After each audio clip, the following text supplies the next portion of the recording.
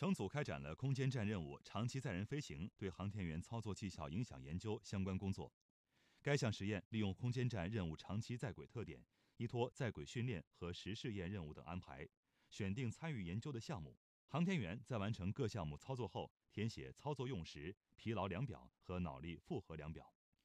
国家太空实验室内，空间材料科学、微重力流体物理与燃烧科学等领域实验持续开展中。乘组按计划进行了相关实验样品的更换，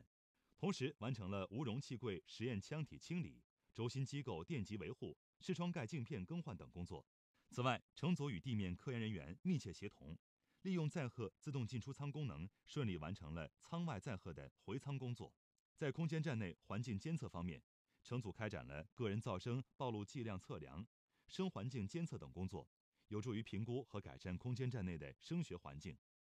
乘组完成了再生生保系统电解质氧补水部分组件更换以及生物实验样品下行遇冷支持装置转移等工作。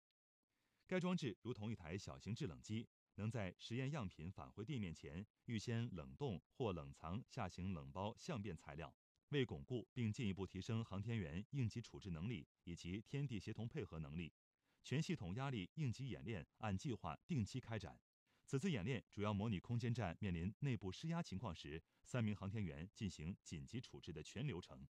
上周，乘组按计划开展了医疗救护在轨训练，在进一步熟悉设备位置、复习使用方法、巩固操作流程和技能的同时，通过训练感受天地差异，熟悉微重力环境下的救护操作方式、施力特性等。在健康维护与保障方面，乘组按计划开展了眼压及眼底检查、质量测量、神经肌肉刺激等。有助于监测并维护航天员身体状况。此外，乘组定期开展了舱内清洁、物资整理及垃圾转运存放等工作，确保空间站内部环境洁净，